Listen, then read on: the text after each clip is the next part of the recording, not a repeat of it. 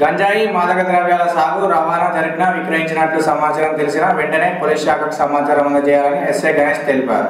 ముస్తాబాద్ మండల కేంద్రంలో తెలంగాణ చౌరస్తా వద్ద ఎస్ఐ గణేష్ ఆధ్వర్యంలో గంజాయి మాదక ద్రవ్యాల నిర్మూలనపై గ్రామస్తులకు అవగాహన కల్పించారు. ఈ సందర్భంగా ఎస్ఐ గణేష్ మాట్లాడుతూ మండలంలో గంజాయి వంటి మాదక ద్రవ్యాలను సాగు రవాణా చేసిన విక్రయిస్తున్నట్లు సమాచారం తెలిసిన వెంటనే మాకు సమాచారం తెలపాలని సూచించారు.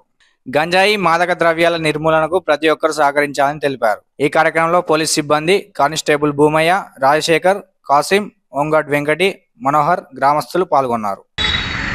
మాకు పోలీస్ వారికి ఇన్ఫామ్ చేయండి. హండ్రెడ్ హెల్ప్ కానీ ఇన్ఫామ్ చేయండి. పర్సనల్ నెంబర్ కానీ ఇన్ఫామ్ చేయండి.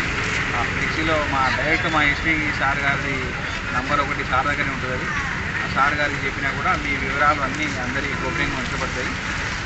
గంజాయి అనేది అత్యంత ప్రమాదకరంగా ఉన్నది తల్లిదండ్రులకు వాళ్ళ ఇంటి ఇంటి మేము కేసులు చూసుకుంటున్నాం కేసులో.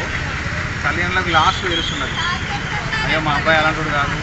మా అబ్బాయి అలాంటి కాదని చెప్పేసి మా దగ్గర బాధపడుతున్నారు. కాబట్టి మీ తల్లిదండ్రులు కూడా పిల్లల పైన వాళ్ళు ఏం వాడుతున్నారు ఎటు తిరుగుతున్నారు ఏ టైం వస్తున్నారు వాళ్ళ ఫోన్లలో ఎవరితో మాట్లాడుతున్నారు ఎవరైనా ఫ్రెండ్స్ ఎలాంటి వాళ్ళు అనేది దృష్టి సాధించి మీ పిల్లల